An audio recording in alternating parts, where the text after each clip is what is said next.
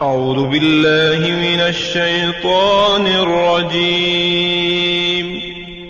پناہ مانگتا ہوں میں اللہ کی شیطان مردود سے۔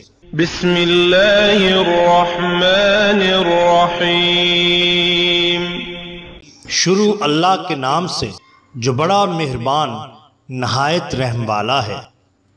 دا باٹم لائن کے ناظرین کرام، السلام علیکم۔ محترم ناظرین، ہم اپنی آج کی ویڈیو میں حضرت شاہ دولہ رحمت اللہ علیہ اور بادشاہ جہانگیر کا قصہ پیش کریں گے۔ جب بادشاہ جہانگیر آپ کو قتل کرنے گیا تو کیا ہوا؟ ناظرین کرام، حضرت شاہ دولہ سن پندرہ سو اکاسی بمطابق سن نو سو نواسی ہجری اکبر بادشاہ کے زمانہ میں پیدا ہوئے۔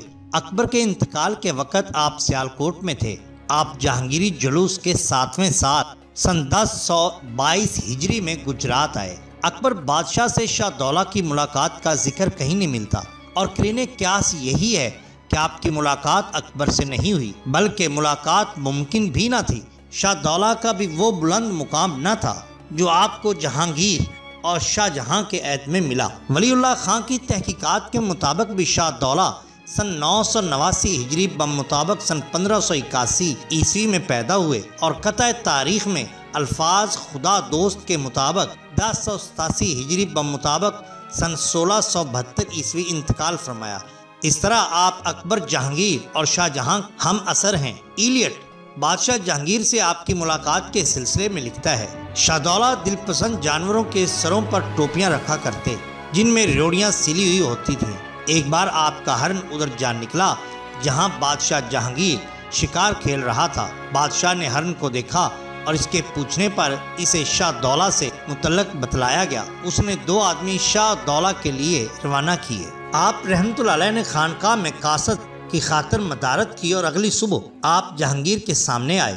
نور جہاں ساتھ موجود تھی، جہانگیر نے پوچھا، آپ نے اکثیر اعظم کہاں سے پائی ہے؟ شاہ دولہ نے کہا، انہیں اکسیر کا کچھ پتہ نہیں ہے اور آپ صرف فقیر ہیں۔ مگر چہرے مورے سے شاہ دولہ باثر امیر کبیر ہی نظر آتے تھے۔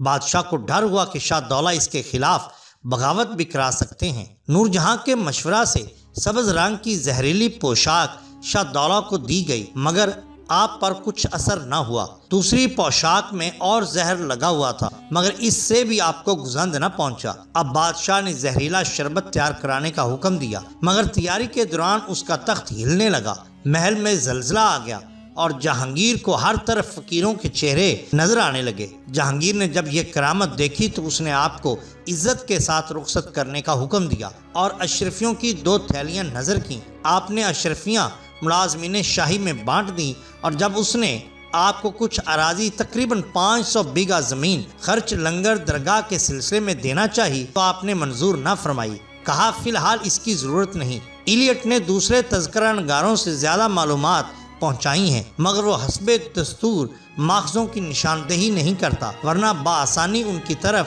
رجوع کر کے واقعات کی درستگی سے متعلق فیصلہ کیا جا سکتا تھا۔ اسی طرح شاہ دولہ کی ملاقات شاہ جہان سے ثابت ہے۔ سفر کشمیر کے دوران میں دارا اور بیگم صاحبہ کے لاتعداد اونٹ ڈیگ نالا میں بہ گئے اور جب شاہی فوجدار مستقل پل بنانے میں ناکام ہو گئے تو آپ کی طلبی ہوئی اور آپ نے اس سے تکمیل پل کا وعدہ فرمایا۔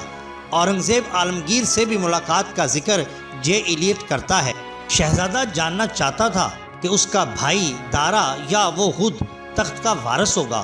وہ شاہ دولہ کی خدمت میں آیا اور ایک مرغے زرین سوات کا ایک پرندہ ہے، ایک ولایتی بلی اور ایک عصا پیش کیا۔ مطلب یہ تھا کہ اگر شاہ دولہ نے دوسرے تحائف وصول کر کے عصا اسے لوٹا دیا، تو یہ وارث تخت کے لیے نیک شگون ہوگا۔ شاہ دولہ نے جو ہی شہزادے کو دیکھا، آپ اٹھے اور شہزادے کو سلام کیا اور اسے دولت پناہ کہا۔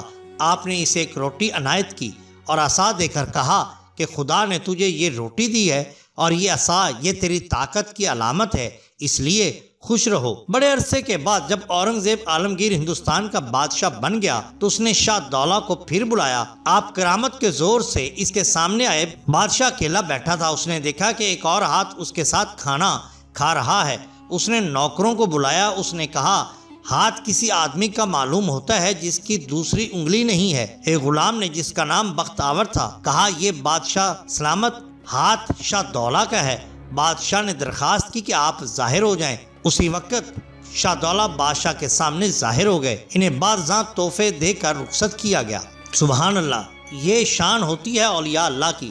اگر آپ کو ہماری یہ ویڈیو پسند آئی ہو تو لائک کیجیے، سبسکرائب کیجیے۔ ہمارے چینل دا باٹم لائن کو تاکہ ہم آپ کے لیے اور بھی بہترین ویڈیوز لا سکیں۔ اپنا اپنے دوستوں کا گردنوا کے لوگوں کا بہت خیال رکھیے۔ اللہ اور اللہ کے رسول صلی اللہ علیہ وسلم سے بے عد محبت کیجیے اور دعا کیجیے کہ اللہ تعالیٰ پاکستان کو بالخصوص اور عالم اسلام کو بالعموم اس نئی بیماری وائرس کرونا سے محفوظ رکھے۔ آمین۔ سما آمین۔ اللہ حافظ۔